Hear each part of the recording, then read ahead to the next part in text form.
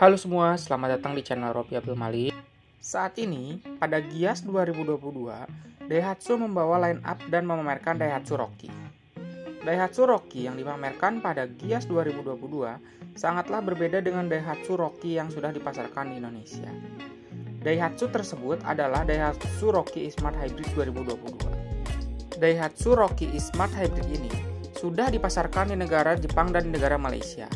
Namun, di Malaysia, Daihatsu Rocky Hybrid ini hanya sebagai kendaraan sewaan atau bisa disebut kendaraan rental.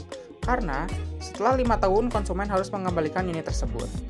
Mobil ini belum secara resmi dipasarkan di Indonesia.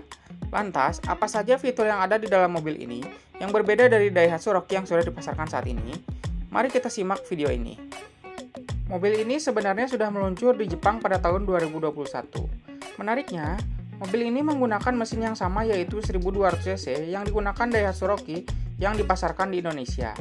Perbedaannya adalah jika mesin 1200 cc yang digunakan saat ini adalah murni untuk menggerakkan mobil, sedangkan mesin 1200 cc yang digunakan Rocky Smart Hybrid ini adalah untuk mengisi daya baterai.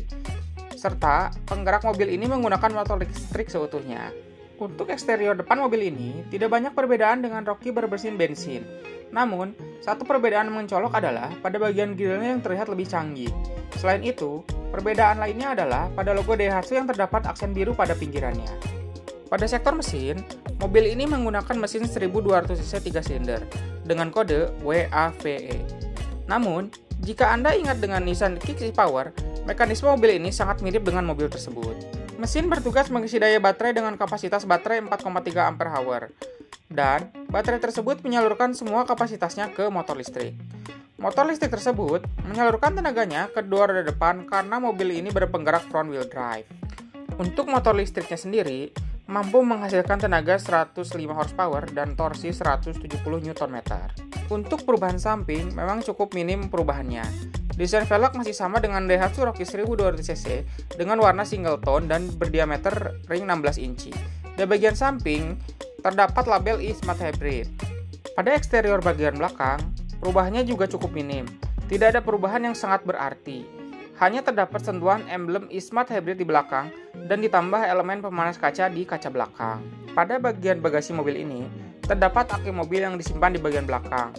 Dan aki tersebut juga bertugas menjadi baterai mobil ini dikarenakan baterainya yang cukup kecil hanya 4,3 Ah. Pada bagian interiornya, masih sama dengan interior Daihatsu Rocky bermesin bensin. Namun, terdapat beberapa penambahan fitur yaitu electric parking brake. Selain itu, untuk tombol engine start stop juga sudah berwarna biru karena ini mobil hybrid. Untuk fitur ASA atau Advanced Safety Assist milik Daihatsu masih tertanam di mobil ini. Kesimpulannya, bahwa sangat diharapkan sekali Daihatsu Rocky Smart Hybrid ini masuk ke Indonesia, apalagi jika harganya di bawah Nissan Kicks Power.